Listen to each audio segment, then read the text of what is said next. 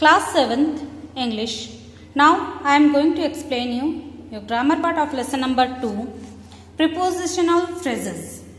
What is prepositional phrases? A prepositional phrase is a group of words that has two basic parts जिसके दो part होते हैं preposition जिसमें एक preposition होगा एंड नाउन और प्रोनाउन और उसके साथ या तो नाउन होगा या तो उसके साथ एक प्रोनाउन जुड़ा हुआ होगा that serves as the object जो एक ऑब्जेक्ट की तरह वहाँ पे काम करेगा ऑफ़ द प्रिपोजिशन प्रिपोजिशन के लिए। प्रिपोजिशनल फ्रेजेस होता है, एक सेंटेंस में एक प्रिपोजिशन होगा, दो पार्ट में डिवाइड होते हैं, एक प्रिपोजिशन और उसके साथ ऐड किया हुआ ये नाउन और प्रोनाउन जो उसको ऑब्जेक्ट के जैसा बिहेव करने में मजबूर करेगा उस सेंटेंस में। ऑब्जेक्ट के जैसे बिहेव करेगा। सपोज़ आप आगे पढ़ते हैं। Prepositional phrase begins with a preposition and shows the relation between the object and the another word in the sentence. Prepositional phrases हमेशा उस preposition के साथ relation दिखाते हैं किसके साथ object के साथ या तो other part of the sentence के साथ For example, the shelves in the pantry were full of eatables.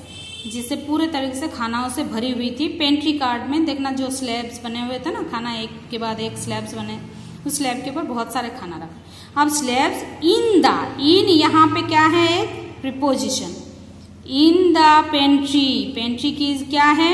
In the pantry हो गया प्रिपोजिशनल फ्रेज क्योंकि इन प्रिपोजिशन और द पेंट्री एक नाउन या प्रोनाउन और यहाँ पे एक ऑब्जेक्ट के जैसे काम करते हैं। In the pantry is prepositional phrase हो गया। Second the old man at the crossing looked confused बुज़ुर्ग इंसान जो क्रॉसिंग पे खड़े थे, वो कंफ्यूज हो रहे थे।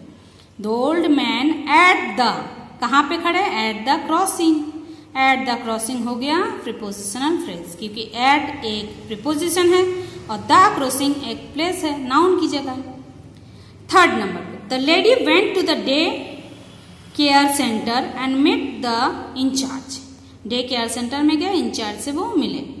लेडी वेंट उसके बाद टू आया। टू एक प्रिपोजिशन है और to the day care centre एक जगह का नाम है। Day care centre. तो ये एक नाउन है और नाउन और प्रिपोजिशन जुड़ के क्या हो गया?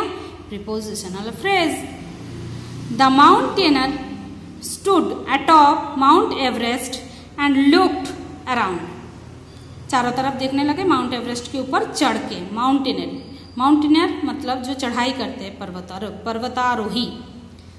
कहाँ पे खड़े थे? ए टॉप ए टॉप मतलब सबसे ऊपर, ऊंचाई पे. ए टॉप को हम यहाँ पे प्रिपोजिशन बोलते हैं. माउंट एवरेस्ट एक नाउन है, एक चोटी का नाम है पिक का. इसलिए माउंट एवरेस्ट तो नाउन के साथ जो प्रिपोजिशन जुड़ा है, पूरा सेंटेंस हो गया, ये पार्ट हो गया prepositional phrase now we can solve solve this question question number A underline the prepositional phrase in the following sentence the blazer on the chair on के बाद जो सेंटेंसेस जो वर्ड है ऑन के ऊपर क्या है? The chair the broom is kept behind the door broom कहाँ पे है? केप्ट बिहाइंड बिहाइंड एक प्रिपोजिशन है. द डोर जुड़ गया. Naina met her friend at the railway station at एक प्रिपोजिशन द रेलवे स्टेशन एक नाउन प्लेस है. We discuss the matter during lunch lunch के टाइम हम डिस्कस कर रहे थे. ड्यूरिंग एक प्रिपोजिशन लंच एक समय।